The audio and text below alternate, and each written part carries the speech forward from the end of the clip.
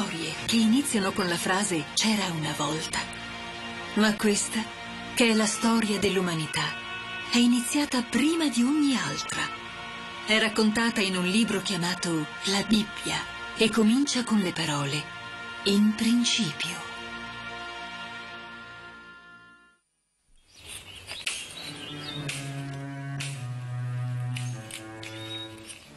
Guardate, c'è Giuseppe, il cocco di papà, il suo preferito.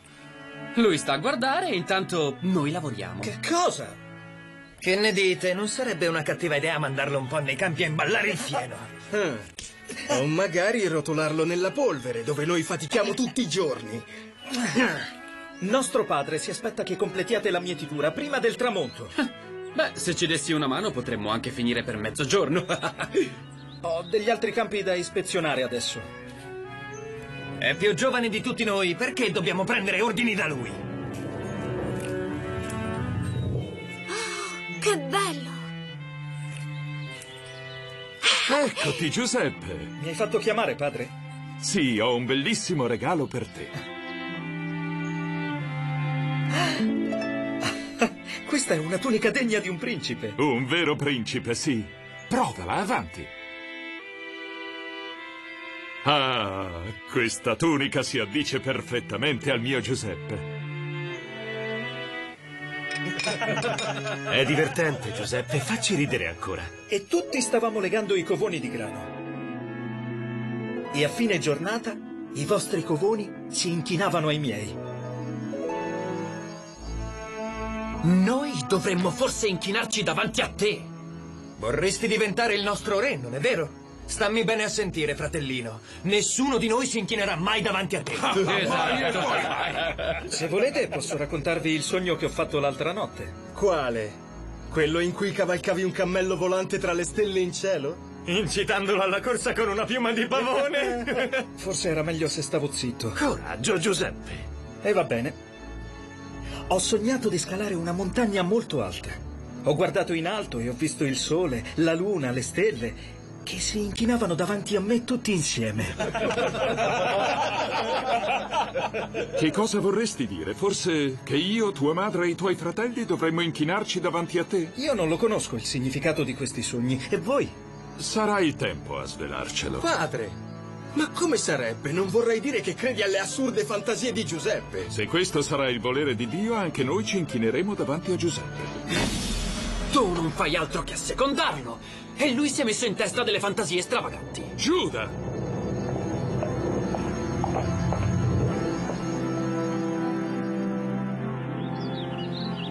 Vai a Sichem a vedere cosa fanno i tuoi fratelli con le greggi al pascolo. Di loro che voglio un resoconto dettagliato di quante sono le pecore, quanti sono i montoni e quanti gli agnelli nati in questa stagione.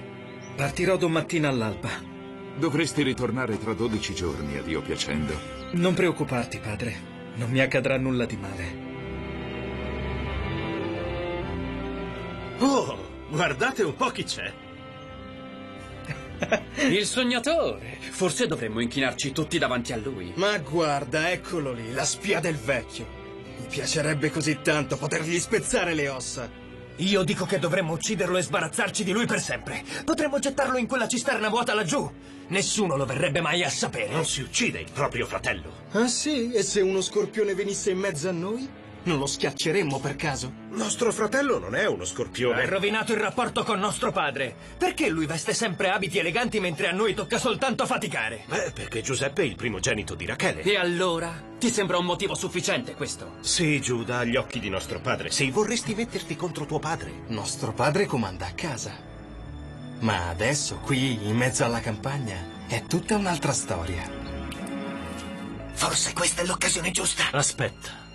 Non dobbiamo spargere il sangue di nostro fratello. Gettiamolo vivo in quella cisterna e lasciamolo lì. Ah, finalmente vi ho trovati. Nostro padre aveva detto che eravate a Sikhem e là mi hanno detto di cercarvi a Dotain. C'erano pochi pascoli a Sikhem e anche qui non sono un granché. E così tutti i giorni dobbiamo pascolare le greggi lontano da casa e dormire all'addiaccio su giacigli di fortuna sotto le stelle. La mia borraccia è vuota, non avete un po' d'acqua? La cisterna è asciutta, ma se scavi con le mani magari un po' d'acqua la trovi. Ti aiuto io ad entrarci? Che cosa vuoi fare? Ah!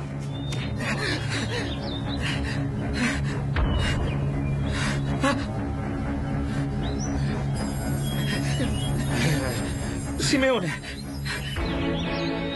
No, lasciami andare! No!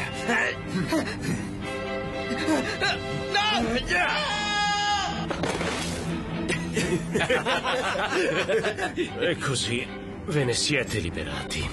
Lavorare stanca? Beh, ci siamo meritati la cena. Vado a controllare le greggi. Aiuto! Ehi, sta arrivando una carovana. Aiuto! Sono ismaeliti. Ora sentiranno le grida di Giuseppe. Tiratemi fuori di qui! Vado a farlo smettere. Aspetta. Perché non proviamo piuttosto a venderlo a questi stranieri? Così almeno se lo porteranno con loro in Egitto. Simeone! Per un attimo avevo pensato che mi lasciaste qui a morire. Ah, e invece abbiamo un futuro migliore per il sognatore.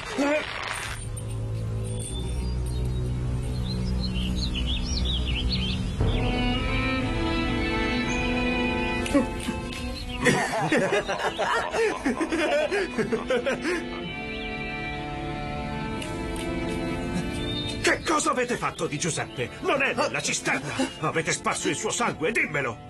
No, l'abbiamo venduto come schiavo per 20 sicli e ora è in viaggio verso l'Egitto. Gli abbiamo strappato la tunica sporcandola di sangue di capra. Nostro padre penserà sia stato attaccato da una bestia feroce. Oh no! Oh! L'abbiamo trovata in una radura nei pressi di Sichem.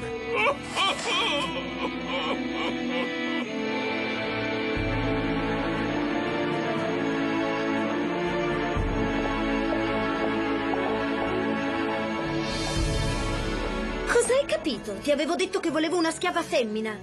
Schiave non ne ho trovate. Quest'uomo è ebreo, ha le mani morbide, ma il mercante ha detto che è intelligente. Fallo iniziare dalle cucine. Il Signore benedisse Giuseppe, che presto fu incaricato di occuparsi delle faccende domestiche di Putifar, nonché dei suoi affari. Giuseppe, Sì? sono ormai due anni che vivi presso la nostra famiglia e ti occupi delle faccende di casa. Ti sei anche meritato gli elogi di mio marito per le tue grandi doti. Il mio padrone mi ha sempre trattato con giustizia. E io non ti ho trattato con giustizia, io? Perché continui a tenere le distanze da me? Ah, ah, ecco, io, io ho sempre un sacco di incarichi e di lavori da svolgere. Lo so bene, Giuseppe, ma anche io ho un incarico per te adesso. Perché non vuoi unirti a me? Che cosa c'è? Non ti piaccio? Non posso tradire il mio buon padrone. Ma lui non lo saprà mai. No! No!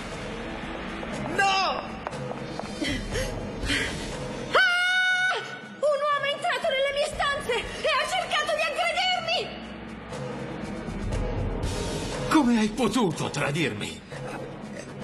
Io non ho fatto niente. A chi ha intenzione di credere? A lui o a me? Portatelo in prigione. Ma il Signore non abbandonò Giuseppe nemmeno in prigione. Giuseppe entrò nelle grazie del capo carceriere e fu incaricato di gestire gli affari della prigione. Chi sono i prigionieri che hanno fatto questi strani sogni? Sono il capo panettiere e il capo coppiere del faraone. Arrivano dal palazzo del faraone. Forse allora dovrei ascoltare il loro racconto. Per primo voglio sentire il sogno del coppiere. Signore, nel sogno ho visto una vite davanti a me e sulla vite c'erano tre tralci. Appena spuntati i germogli sono fioriti e l'uva è maturata nei grappoli. Io avevo in mano la coppa del faraone e così ho preso i grappoli e li ho spremuti nella coppa che poi ho offerto al faraone. I tre tralci di uva sono tre giorni. Sì, Felice, fra tre giorni il faraone ti libererà dal carcere. Tu riavrai il tuo vecchio incarico e porgerai di nuovo la coppa nelle mani del faraone come hai sempre fatto in qualità di suo coppiere. Oh, grazie, mio signore. Che la benedizione sia con te. Ricordati di me quando tornerai di nuovo in libertà e parla di me con il faraone. Digli che sono stato rapito, venduto come schiavo e portato qui in Egitto. Poi per due anni ho servito il capitano delle guardie, sempre lealmente. Ma sono stato tradito e gettato in prigione. Sì, glielo dirò, signore, e ti sarò eternamente riconoscente. E tu? Che cosa hai sognato? Oh, signore, pensate un po', io ho sognato di avere in testa tre grandi cesti di pane. Il cesto più in alto conteneva le paste preferite del faraone, ma gli uccelli continuavano a mangiare da quel cesto. Tre grandi cesti, hai detto? Ah? Anche i tre cesti di pane rappresentano tre giorni. Tra tre giorni il faraone farà tagliare la tua testa e gli uccelli strapperanno la carne dalle tue ossa. Tre giorni dopo si avverarono entrambe le predizioni, ma il coppiere, riavuto il suo incarico, dimenticò la promessa fatta a Giuseppe.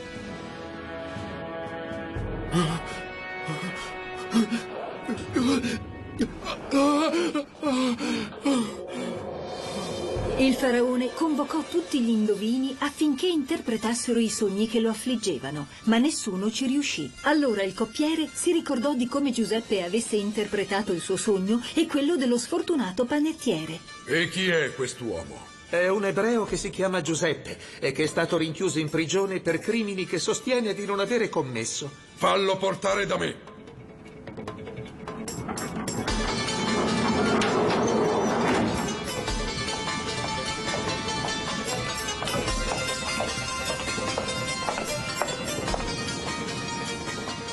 Ho fatto due sogni molto particolari.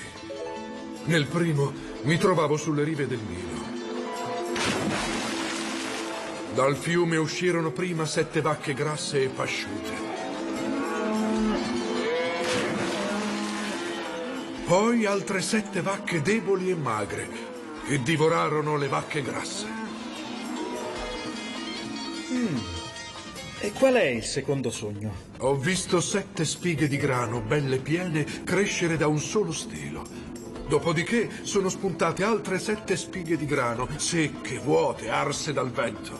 Alla fine le sette spighe vuote hanno ingoiato le sette spighe piene. Entrambi i sogni hanno lo stesso significato.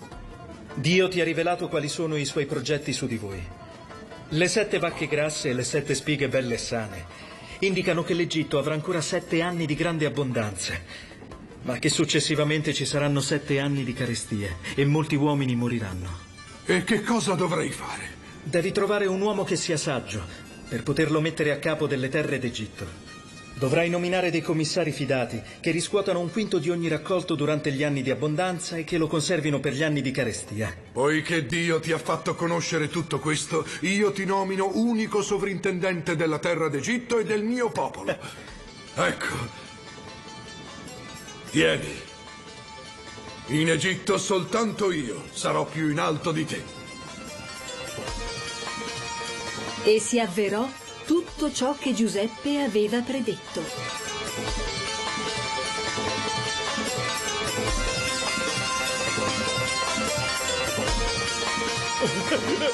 Ma la siccità colpì anche la terra di Canaan, dove vivevano il padre di Giuseppe e i suoi fratelli. Mi hanno detto che in Egitto è possibile trovare il grano. Prendete i vostri fratelli e andate a comprarlo, o moriremo di fame.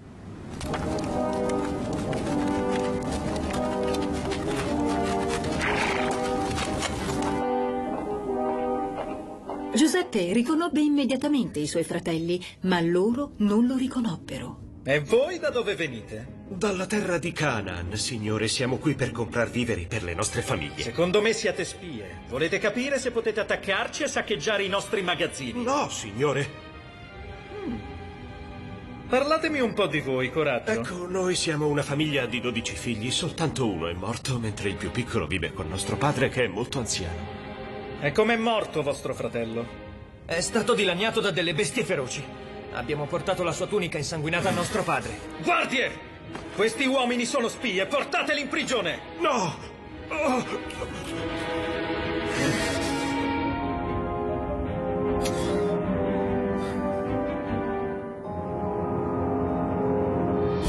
Dopo tre giorni, Giuseppe si placò e mandò a chiamare i suoi fratelli. Vi darò l'opportunità di provare che state dicendo la verità. Uno di voi resterà qui in prigione. Gli altri andranno a portare i viveri ai vostri familiari. Ma a una condizione, dovrete portarmi il vostro fratello minore. Se la vostra storia è autentica, rilascerò il fratello rimasto in prigione e sarete tutti liberi di tornare a casa. Ti ringraziamo, signore. Dunque, vediamo, io scelgo... mm, te. Tu resterai in prigione.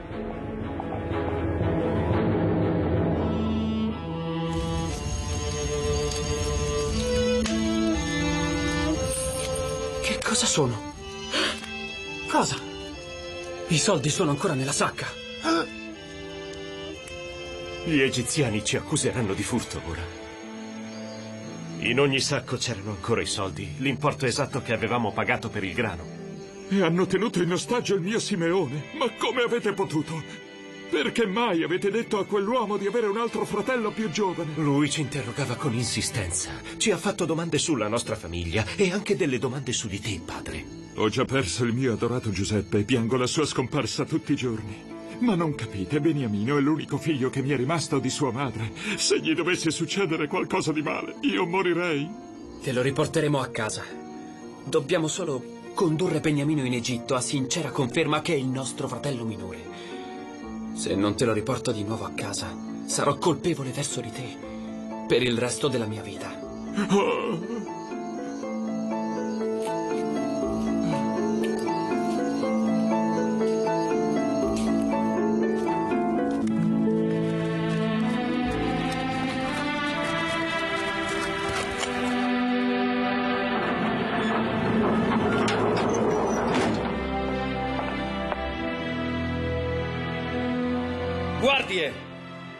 Conduceteli nel mio palazzo. E portate anche quello che è in prigione. Vuole fare di noi i suoi schiavi.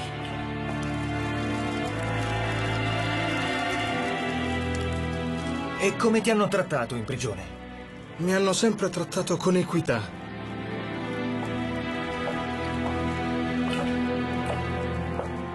Mio signore, ti abbiamo portato in dono miele, mirra e spezie e, come già promesso, anche il nostro fratello minore Beniamino.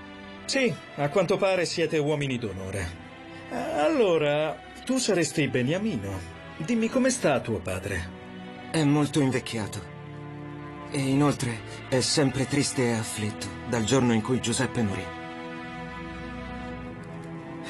Mangiamo tutti insieme, prima che affrontiate il vostro viaggio.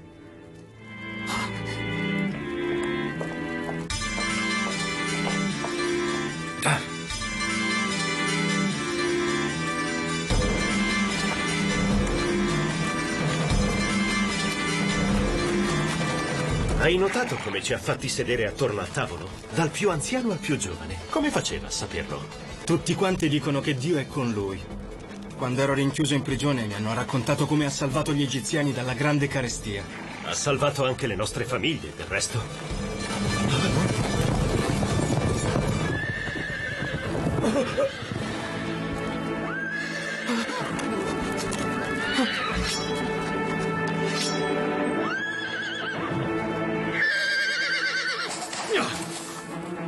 Neghi di averla rubata al mio padrone? Eppure questa è la sua coppa! Deve esserci un errore. Noi non abbiamo... Di chi è questa borsa?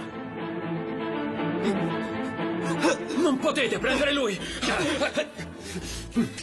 Arrestatemi! La colpa è soltanto mia!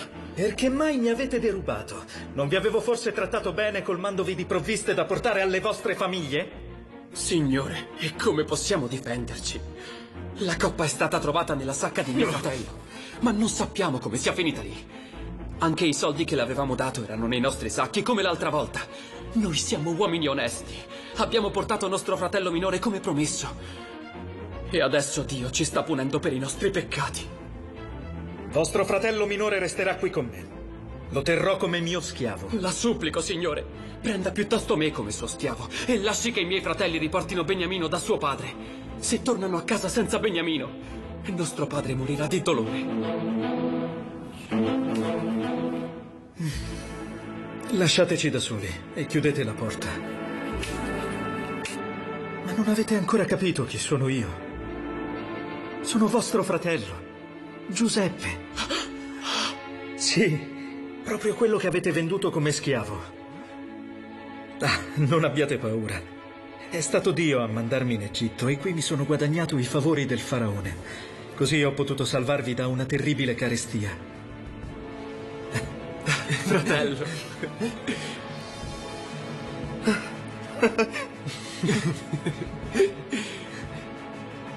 Il mio Giuseppe è dunque vivo! È il sovrintendente supremo dell'intero Egitto. Il mio amatissimo figliolo Giuseppe è vivo dopo tutti questi lunghi anni. È il Signore Dio che me lo manda. Dio parlò a Giacobbe e gli disse di andare in Egitto con i figli. Lui gli sarebbe stato vicino e avrebbe trasformato la sua famiglia in una grande nazione. Un giorno l'avrebbe riportato nelle terre degli antenati. Ma Giacobbe, colui che Dio stesso aveva chiamato Israele, sarebbe morto in Egitto con suo figlio Giuseppe accanto. Fu così che Giuseppe e i suoi fratelli restarono in Egitto e lì si moltiplicarono ed ebbero una grande progenie. Questa è la storia di Giuseppe, l'interprete dei sogni.